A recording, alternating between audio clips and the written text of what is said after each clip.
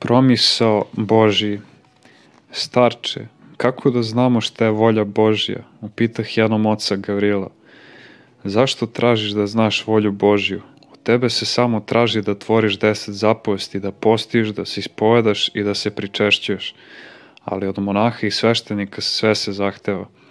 Treba da pitaš svoje srce i kada te srce uveri, to je volja Božja.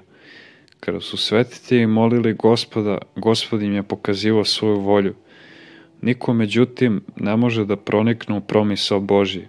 Postoji volja Božja kao Božje blagovoljenje i volja Božja kao njegovo dopuštenje. U drugom slučaju, budući da nam je Bog dao savršenu slobodu, onda svi mi i demoni i ljudi činimo što god hoćemo. Ali kada Bog odluči da se umeša, onda ni lukavi duhovi, ni mi ljudi ne možemo ništa da učinimo. Na primer, bila je volja Božja da je izgore Sodom i Gomor. Nije moglo da bude nikako drugačije.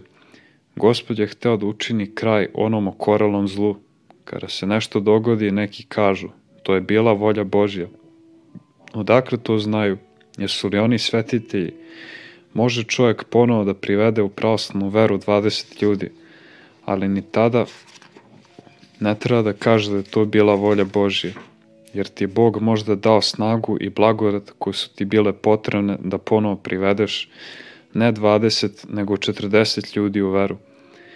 Ako se spremaš nešto da učiniš, treba da kažeš, neka bude volja tvoja. Promisao Božih svima upravlja, Bog nekada dopušta, a nekad blagosilja svojom voljom. Kada o nekom pitanju ne znaš šta da radiš, šta da odlučiš, onda treba da se otvoriš božanskom promislu i da prestaneš o tome da brineš.